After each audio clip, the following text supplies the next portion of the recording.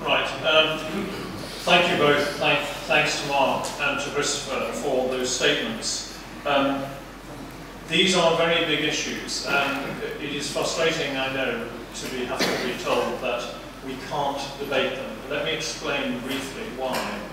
We have a mixed meeting here tonight in which we have both the executive of Fareham, who will have to take a decision on these issues in a week's time, just over a week's time.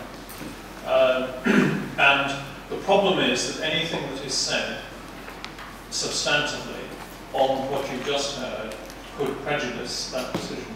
And that, that is why I think the best course, obviously if there are procedural points, I will do my best to try and help them, but in terms of the substance of what you've just heard, I think all of us as external representatives need to do is to take the document, which I understand is being made available at the end of the meeting, um, and to read it. And then we will have access, um, both, there, there is an opportunity to submit views ahead of the executive, but of course we can also submit views ourselves. I'm very happy to be emailed by any member of the Standing Conference um, once, once the debate is underway.